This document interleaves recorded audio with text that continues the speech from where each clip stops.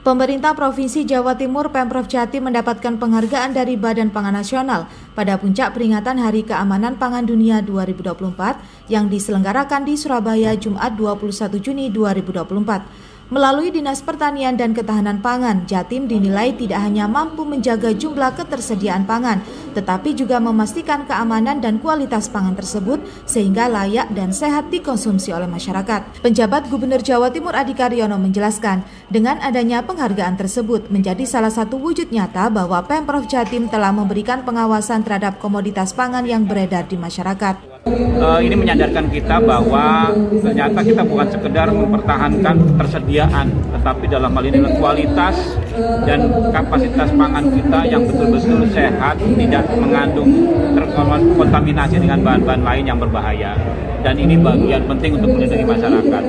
Dalam kesempatan itu juga di launching mobil lab keamanan pangan segar. Deputi Penganeka Ragaman Konsumsi dan Keamanan Pangan Andriko Noto Susanto menjelaskan, Mobil lab ini akan berkeliling untuk memastikan ada tidaknya residu pada produk pangan segar yang ditemui. Jadi sifatnya dinamis, dia bisa mobile dari satu titik ke titik yang lain.